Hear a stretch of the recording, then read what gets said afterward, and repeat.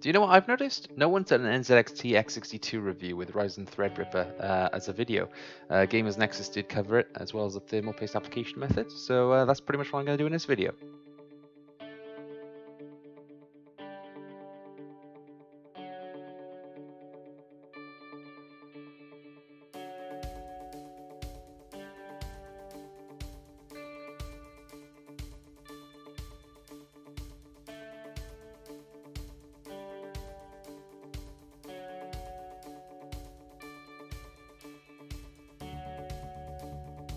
To kick it off, we're doing a CPU-Z uh, benchmark burn-in test.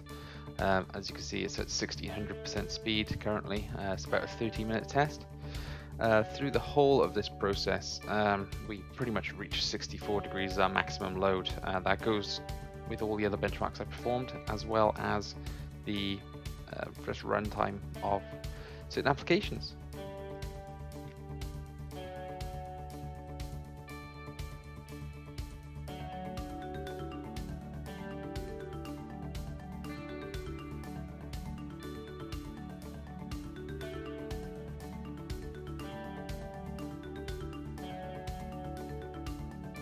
Here we have Prime 95 and we are doing a maximum temperature burn-in test.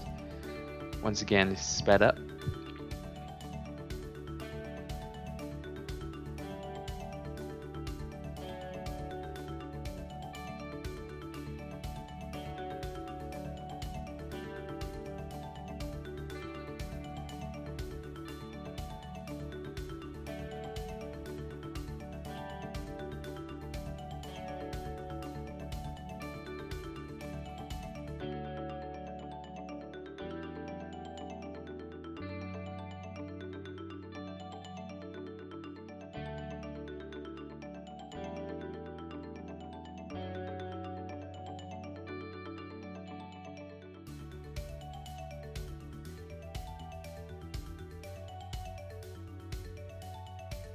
Here we have the CPU benchmark test of the multi-thread and the single thread of the 1920X.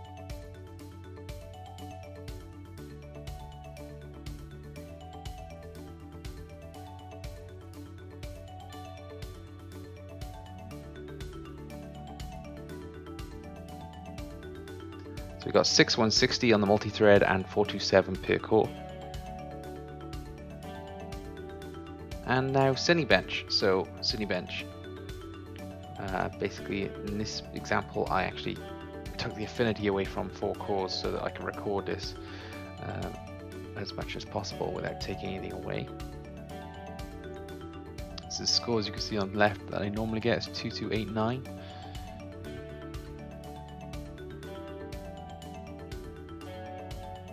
Okay, moving on to the Kraken JavaScript benchmark test through Chrome. Seems like a new test that uh, Guru3D is currently doing, so I thought I'd jump on that. And we can see that we get a 1112.5 milliseconds total score.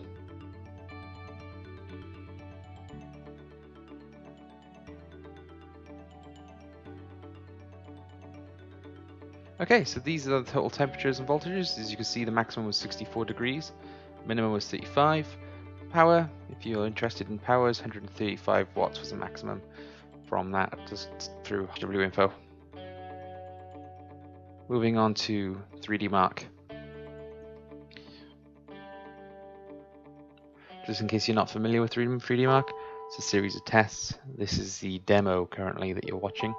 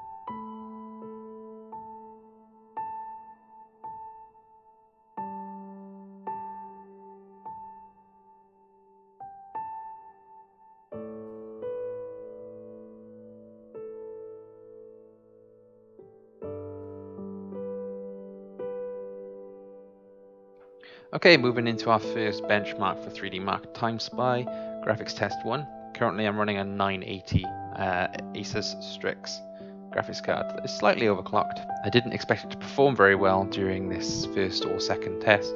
I'm just running this really for the CPU benchmark. I thought I'd leave this in for everyone to view. Just in case you wanted to know what the 970 plus a Threadripper 1920X would uh, would perform like.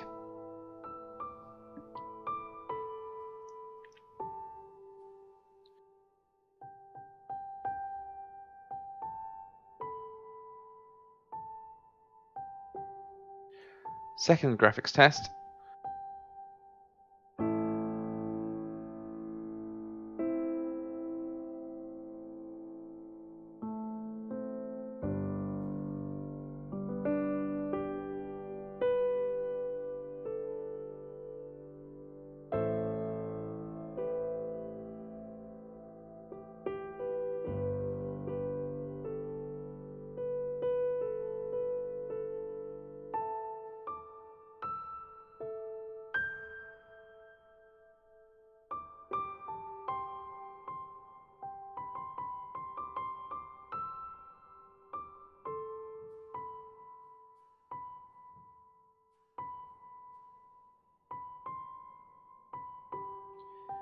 And last but not least, the Time Spy CPU test.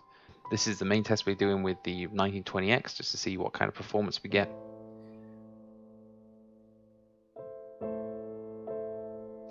Okay, so here you go. CPU scores total is 9370.